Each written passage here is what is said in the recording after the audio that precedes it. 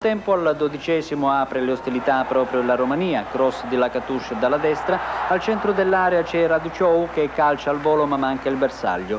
Al ventesimo l'arbitro concede ai rumeni una punizione per questo brutto fallo su Popescu, batte fortissimo Agi e il portiere del Camerun, il veterano Ncono, sventa in angolo. Quattro minuti dopo altra bella parata di Ncono che di pugni respinge un tiro da grande distanza di Rotario.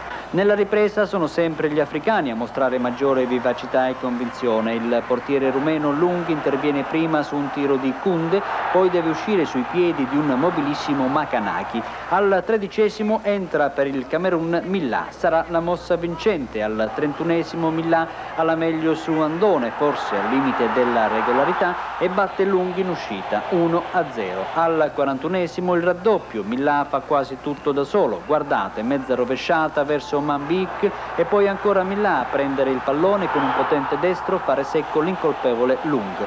Quasi in chiusura la Romania accorcia con Balinte che sfrutta una bella occasione tra due avversari. 2 a 1, troppo poco. Al termine si impone la carica agonistica dei giocatori del Camerun. Oggi